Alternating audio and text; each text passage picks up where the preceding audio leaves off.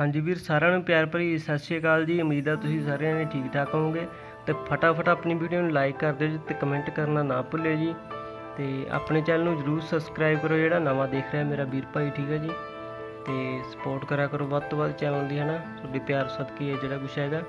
ਤੇ ਸ਼ੇਅਰ ਵੀ ਜਰੂਰ ਕਰਦਿਆ ਕਰੋ ਤਾਂ ਕਿ ਜਿਹੜਾ ਵੀਰ ਭਾਈ ਆਪਣੇ ਚੈਨਲ ਦੇ ਉੱਤੇ ਐਡ ਲੱਗਦੀ ਹੈ ਤਾਂ ਉਹਦੀ ਜਿਹੜੀ ਚੀਜ਼ ਆ ਉਹ ਸੇਲ ਹੋ ਜੇ, ਠੀਕ ਹੈ ਜੀ। ਸੋਨੂੰ ਨਹੀਂ ਪਤਾ ਵੀ ਲੋਕਡਾਊਨ ਦਾ ਕਰਕੇ ਜਿਹੜੀਆਂ ਅੱਜ ਕੱਲ੍ਹ ਮੰਡੀਆਂ ਨਹੀਂ ਲੱਗਦੀਆਂ, ਠੀਕ ਹੈ ਜੀ।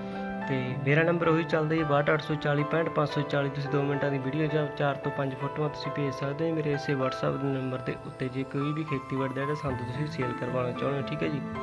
ਤਾਂ ਗੱਲ ਕਰਦੇ ਹਾਂ ਜੀ ਆਪਾਂ ਸੋਨਾਲੀਕਾ DI 60 ਦੀ। ਤੇ ਤਾਂ ਆਪਾਂ ਜਿਹੜਾ ਏਰੀਆ ਦੇ ਵਿੱਚ ਇਹ ਖੜਾ ਜੀ PV ਪੰਜਾਬ ਨੰਬਰ ਹੈ ਜੀ।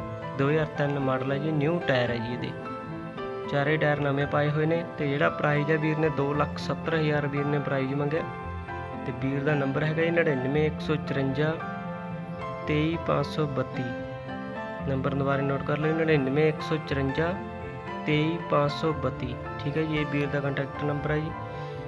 ਤੇ ਅੱਗੇ ਗੱਲ ਕਰਦੇ ਹਾਂ ਜੀ ਆਪਾਂ ਕੰਪਾਈਨ ਹੈ ਜੀ। ਸੱਗੂ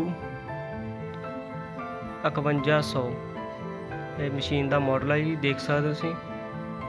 ਸੱਗੂ 5100 ਇਹ ਮਸ਼ੀਨ ਦਾ ਮਾਡਲ ਹੈ ਜੀ ਸੱਗੂ ਵਾਲਿਆਂ ਦੀ ਮਸ਼ੀਨ ਹੈ ਜੀ ਇਹ, ਤੇ 2005 ਮਾਡਲ ਹੈ ਜੀ ਇਹ ਮਸ਼ੀਨ।